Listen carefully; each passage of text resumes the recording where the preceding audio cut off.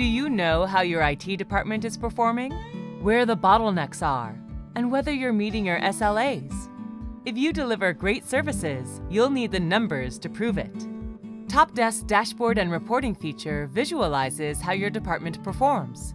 You'll get one clear overview of your key metrics, helping you actively set up your service. In this video, we'll show you how dashboard and reporting works. Jennifer is a TOPdesk application manager at Type.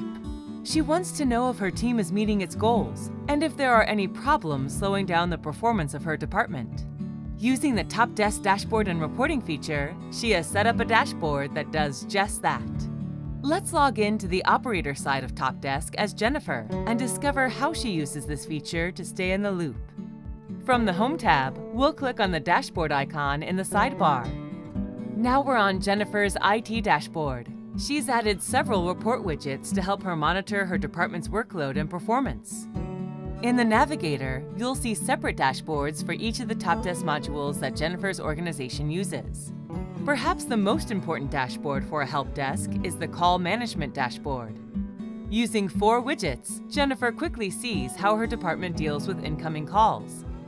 There's the number of calls per week for a period of six months, the number of open calls per operator group, the number of calls per category, and the number of calls per object type.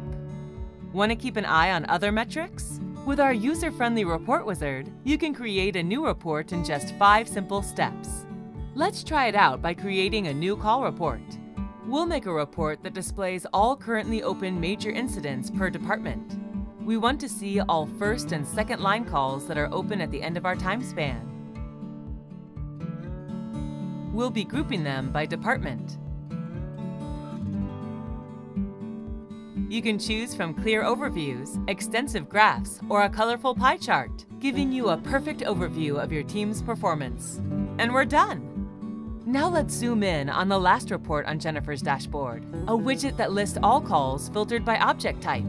This report tells Jennifer which objects are causing the most problems.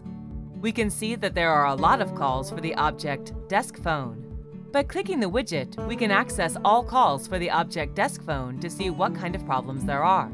Jennifer discovers that almost all calls are categorized in the subcategory phone, by reading some of these issues, we discover that these callers are having problems hearing properly when using a landline. Using the Schedule option, Jennifer can easily create a PDF or Excel file with her findings and email these to a department head. For example, asking for a decision on how to fix the problem. Finding out how your department performs and spotting problems before they happen. TOPdesk Dashboard and Reporting gives you all the insight you need to perfect your services and the tools to keep them that way.